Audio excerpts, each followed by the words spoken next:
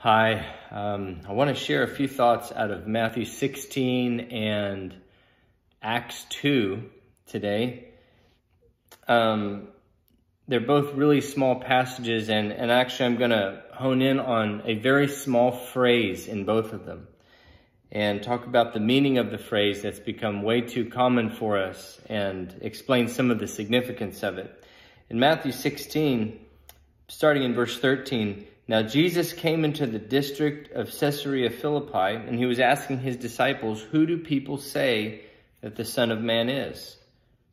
And they said to him, Some say John the Baptist, others Elijah, but still others Jeremiah one of the prophets. And then he said to them, Who do you say that I am? And Peter answered, You're the Christ. You are the Son of the living God. And he said to him, Blessed are you, Simon Barjona, because flesh and blood did not reveal this to you, but my Father who's in heaven.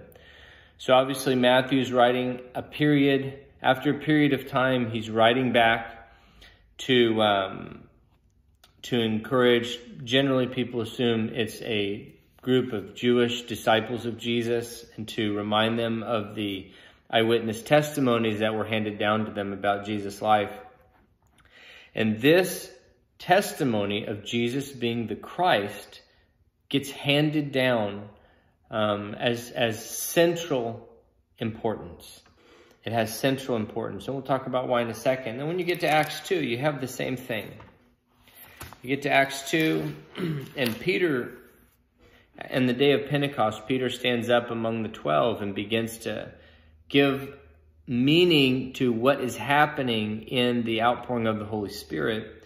And Peter concludes by saying, Therefore, let all the house of Israel know for certain that God has made him both Lord and Christ, this Jesus whom you crucified.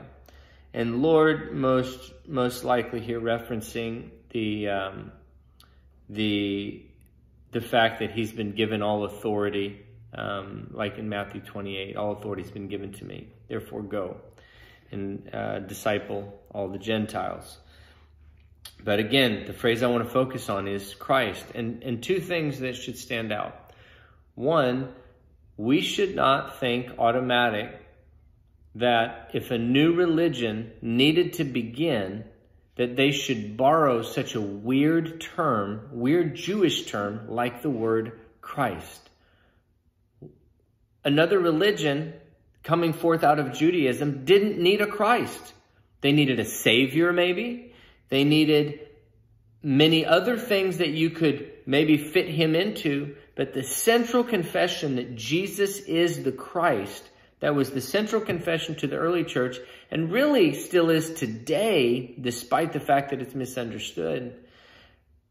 It was not misunderstood in the first century.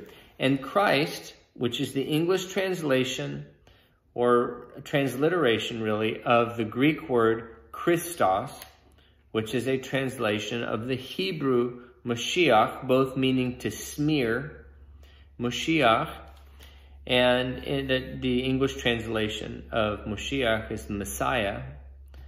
And Christ means the Messiah. And a Messiah in Judaism was not a savior of the world.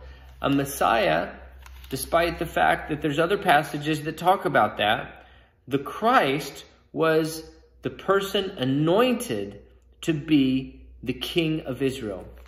It goes back to 2 Samuel 7 when God promised one of David's descendants would always be on a throne. And God said, which is where you get Adam's, or where, which is where you get Peter's language. He said, you are the Christ, the son of the living God.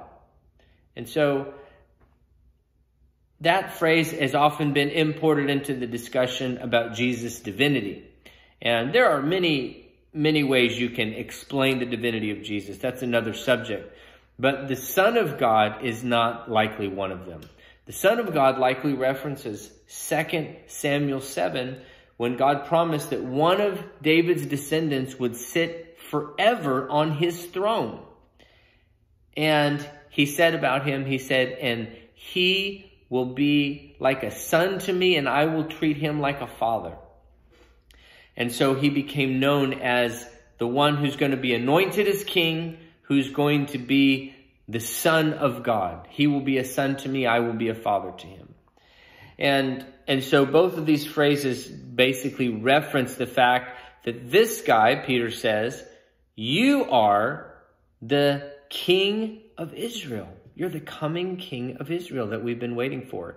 A political figure, in other words, not a religious figure. You're the political figure that the nation of Israel has been waiting for.